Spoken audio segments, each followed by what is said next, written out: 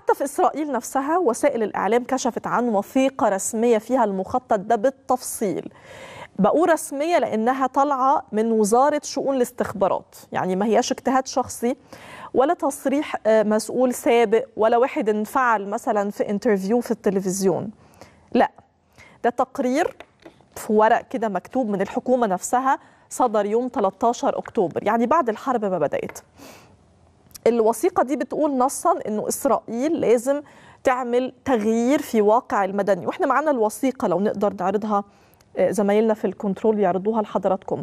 الوثيقة بتقول إيه؟ إن إحنا المدنيين الموجودين في غزة يتم نقلهم لسينا. ده الأول يتم عن طريق خيم. وبعد الخيم ممرات إنسانية. وبعد الممرات الإنسانية يبقى في مدن تتبني في سينا بالكامل بكل خدماتها بكل تفاصيلها. وبعد الكلام ده كله ما يتستف ويتقفل ويتظبط تتعمل منطقة عازلة على بعد كام كيلومتر كده من إسرائيل. محدش هيكون مسموح له إنه يعديها ولا ينفع يرجعوا تاني بيوتهم يعيشوا جوه القطاع. دي الوثيقة اللي عايزة أعرض لحضراتكم طبعا هي بالعبري لكنها متداولة بشكل واسع لأنه تم تسريبها.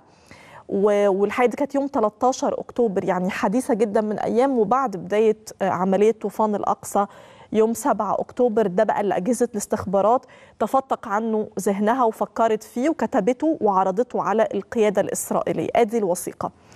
المخطط ده مخطط خبيث يعتمد إنه الموضوع يفضل يتسرسب كده واحدة واحدة الأول من باب الإنسانية. وبعدين تلاقي نفسك قدام أمر واقع مستحيل تغييره. الوثيقة اللي بالعبري اللي حضراتكم شايفينها على الشاشة دي تم ترجمتها باللغة الإنجليزية وباللغة العربية وتم تداولها على نطاق واسع وفيها الكلام اللي أنا حكيته دلوقتي حالا. بيقولوا إيه بقى كمان في الوثيقة؟ إنه اللي هيقنع مصر تنفذ المخطط ده هي أمريكا. هنا بقى بان قد إيه المصريين متماسكين ومترابطين حتى وإن كانت هناك خلافات سياسية أو وجهات نظر متباينة. أول حائط صد إحنا انتبهنا اليومين دول لقوته هو أهل سينا نفسهم. سينا بقى اللي عمالة إسرائيل وأمريكا ترسم وتخطط ليها ده موضوع تاني خالص. سينا دي ليها مواطنين ليها أهل. هم خط دفاعها الأول وحائط الصد ضد أي مخطط خبيث من النوع ده. وشفتوا حضراتكم المؤتمر أول امبارح اللي عمله دولة رئيس الوزراء الدكتور مصطفى مدبولي فكرنا بخمسين سنة فاتت إزاي أهالي ومشايخ سينا وعائلاتها إدوا إسرائيل أكبر ألم وأعلنوا رفضهم لاحتلال هو ده نفس موقفهم النهارده بالمناسبة.